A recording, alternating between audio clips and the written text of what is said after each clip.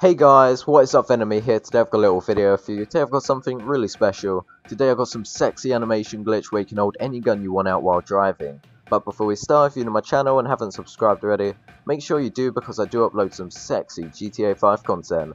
And if you are a sexy supporter, make sure you thumbs up the video, give it a like rating, because it does help me out a lot and it does show me that you guys want more content.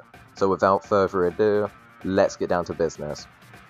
Okay, first of all, I do want to start off by saying I am not the founder of this glitch, the founder will be in the description. Make sure you go check him out, he has some awesome content and definitely tell him that Venemie sent you. But first off, about this glitch, I do have to say you I have actually been reported once or twice apparently for doing this, so I guess people think you're hacking or modding.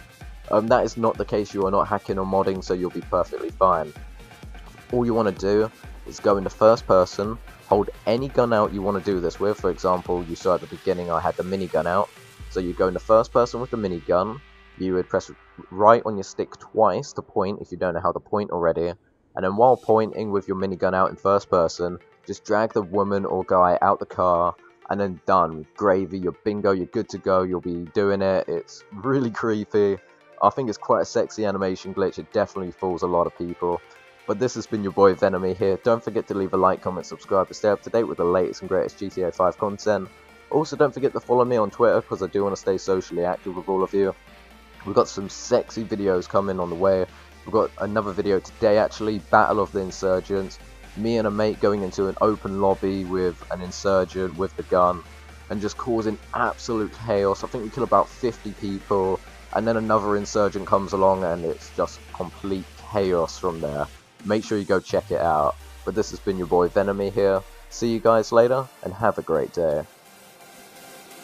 And a quick teaser, we got a trailer for the Battle of the Insurgents coming right at the end of the video. Make sure you definitely go check that out. See you guys later.